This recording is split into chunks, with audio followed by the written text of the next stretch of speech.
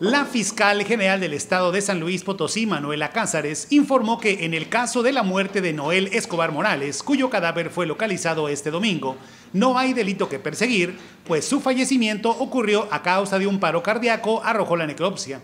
Se trata del empleado de la Comisión Federal de Electricidad, extraviado en la sierra del municipio de San Nicolás Tolentino desde el 4 de septiembre pasado.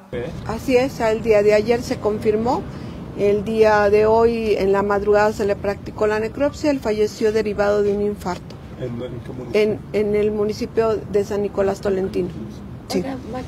El cuerpo de Noel, de 46 años de edad, fue encontrado la tarde del domingo por brigadistas de diversas corporaciones coordinadas por la Comisión Estatal de Búsqueda de Personas y compañeros de la Comisión Federal de Electricidad en una zona no muy lejana al sitio donde fue visto por última vez.